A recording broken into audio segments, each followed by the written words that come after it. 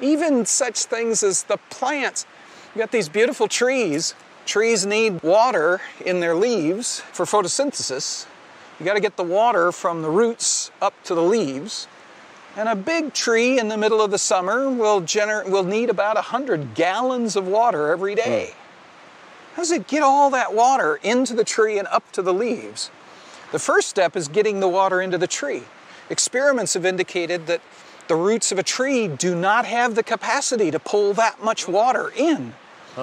And so it, it turns out that there are microorganisms, specifically mycorrhizal fungi, that live in and out of the roots. If you saw the root of a plant, you'd see this fungus that penetrates the root and reaches out of it, and you think, oh no, you know, it's hurting the plant. But no, it isn't.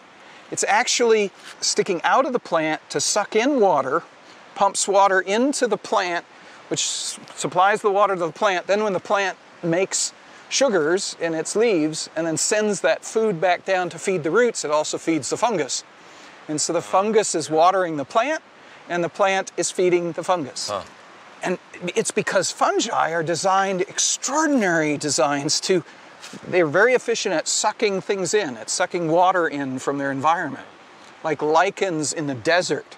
The fungi that you see on the outside of rocks in the desert mhm. are capable of taking water out of the atmosphere when there's less than 10% humidity, pulling it in and creating a pool of water, if you wish, for the algae that's within the lichen. It's extraordinary.